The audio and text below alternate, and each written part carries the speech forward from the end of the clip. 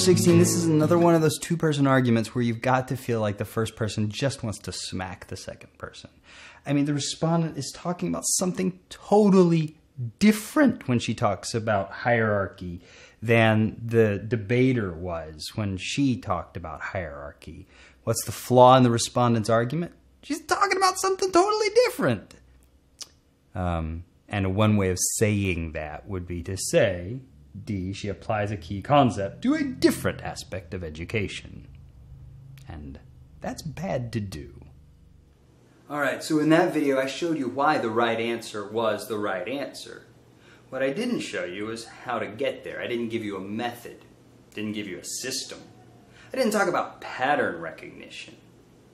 And the reason is, that's where I think the value is really at. If you think that having a systematic, methodological, comprehensive means of kicking LSAT in the nuts is worth paying for, then check out that link of all our course offerings and join the team. And if not, totally cool.